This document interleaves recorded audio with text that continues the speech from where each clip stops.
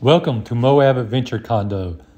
Today I'm going to tell you about an excellent hike I had to the Lewis Lodge ruins.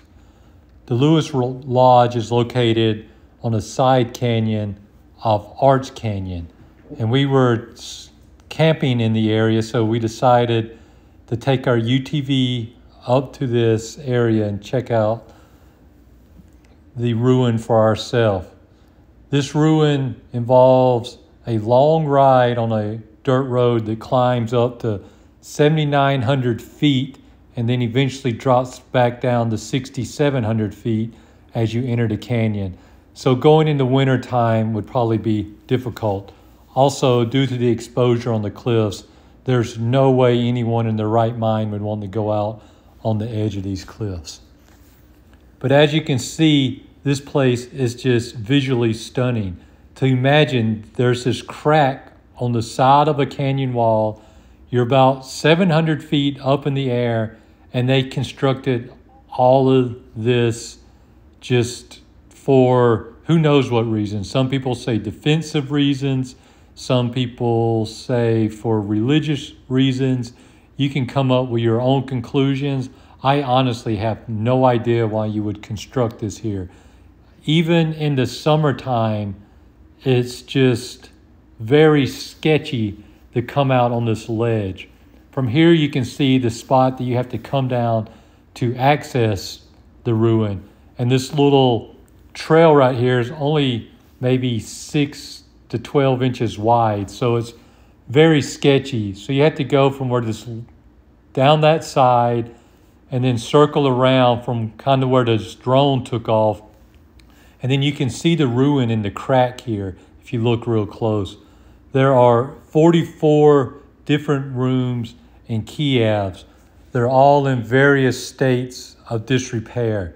So be sure not to um, touch the ruins or, you know, when I say touch them, I mean don't lean up against them. Some people that I take to places like this, I simply don't invite back because they can't keep their hands they can't keep their hands to themselves. I mean, they're constantly leaning up against the rocks, up against the walls, and these places are very fragile. And I know you could say, well, hey, he's walking around here, he's doing damage, but I'm not touching anything that is still standing. The only things I'm touching are my shoes to the ground and maybe some of the collapsed ruins. But enough of that. Let's just enjoy the architecture here. It is simply amazing to see this. Think about carrying all these rocks out here and the mortar that was required to build this. And just, I know I feel very confident in my footing, but just coming out here for any time at all, walking back and forth, it's only a matter of time before you trip. And you know, possibly fall off the edge of this. It is literally, it's not a slope down, it is a sheer cliff off the edge. You can see I kind of sped up the video right here because I wanted to do a complete hike all the way through. And this part is kind of, there's no structures here. It's just a bunch of rubble. But, you know, imagine a family. Some people say that the Anasazi or ancient Fremont Indians moved away here because of famine.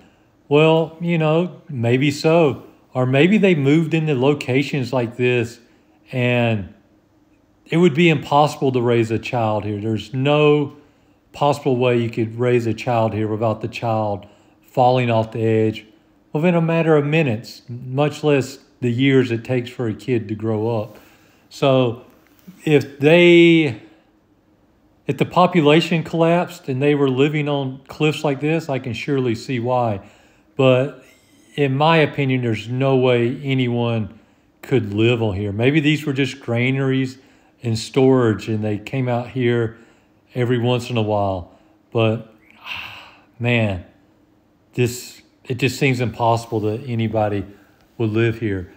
The further out you get, the better the cliff is that's over top of the ruins, and maybe the pottery hunters and just tourists like me chicken out the further you go out. So these are actually in better shape than the ones that are closer to the beginning of the trail.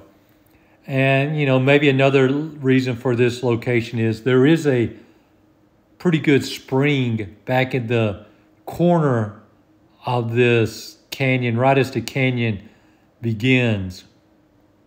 But just imagine being out here and just waking up to this view. Oh man, it's just amazing.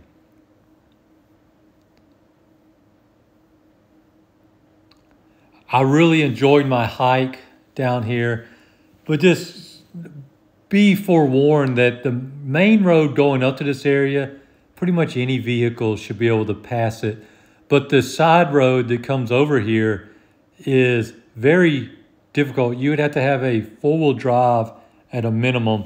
I used our side by side, and I just find that using a side by side, I like to explore. I'm not the kind of person that goes out and wants to do crazy rock crawls, but using the side by side, I can travel at a dis- decent rate of speed to get out to these locations, and this gives me the opportunity to explore things that I otherwise would not be able to explore.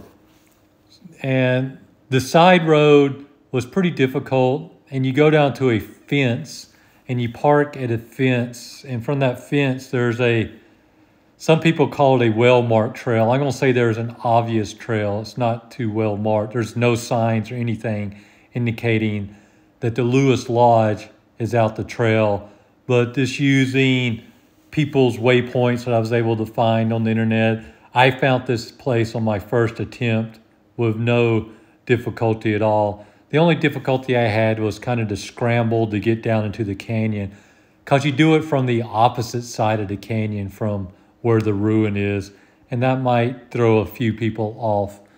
But overall, very few people visit this area. There was a a logbook, and I think maybe one or two people had been out here since the winter. So not very many groups at all come out, and it's just very inaccessible. To even get down to the Arch Canyon area, if you're coming from Moab, it's like a two hour drive to get down here. And if you're coming from anywhere else, it's just literally at the end of the map. It's in the middle of nowhere. There's nothing else in this area.